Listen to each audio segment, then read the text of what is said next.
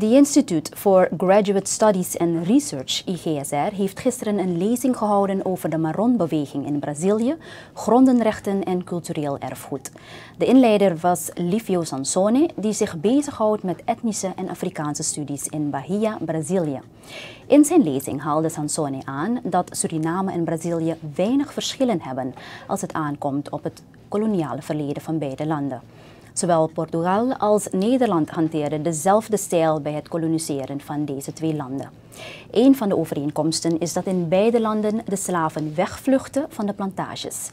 Deze slaven, die nu marons worden genoemd, maken dezelfde uitdagingen mee. Over de laatste 20, 25 jaar en de meekracht vanaf 2002, toen uh, we die eerste Lula-regering hadden, was, eh, is er een eh, beweging eh, waardoor die, de nieuwe Quilombo van totaal onderbelicht en vergeten rurale gemeenschap tot overbelichte Quilombo-gemeenschap omgevormd zijn. Is er een proces waardoor kleine groepen, gemeenschappen van uh, altijd afgelegen gemeenschap. En in Brazilië afgelegen kan honderden kilometer betekenen natuurlijk. Hè. Uh, die uh, wat we noemen een soort survival landbouw doen, dus agricultuur de subsistentie.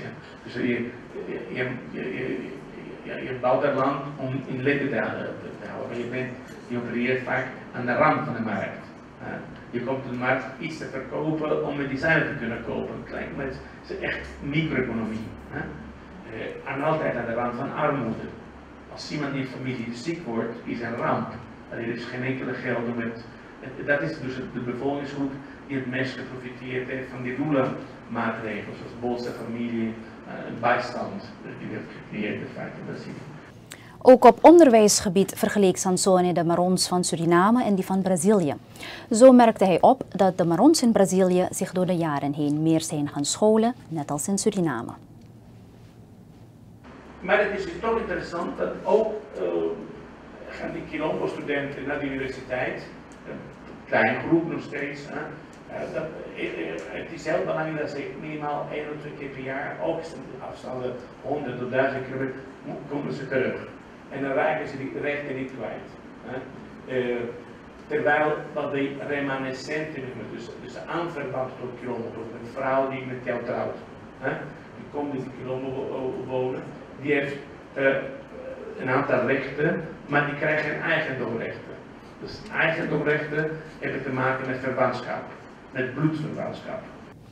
Livio Sansone, inleider van de lezing over de Baron-beweging in Brazilië. De lezing is gehouden in het gebouw van the Institute for Graduate Studies and Research, IGSR.